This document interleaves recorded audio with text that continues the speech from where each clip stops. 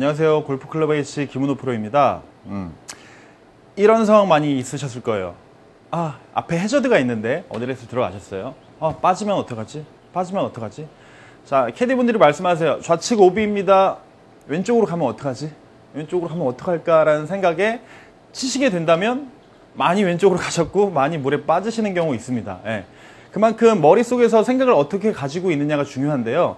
자, 머릿속에서 생각을 가지고 있었을 때 그 원하는 방향으로 공을 더 보낼 수 있는 확률이 높아집니다. 자, 어디에서 들어가셔서 백스윙 올리시고 공을 치실 때 단순히 스윙에서의 생각보다 이 공이 내가 원하는 타겟 쪽으로만 간다라는 네, 단 하나의 생각만 가지고 스윙 연습을 해보, 해보세요. 코스에서 지금보다 훨씬 더 좋은 성과를 느끼실 수가 있을 겁니다. 자, 중요합니다. 공이 내가 원하는 타겟으로만 간다라는 생각 하나만 가지고 스윙을 해보시는 거예요.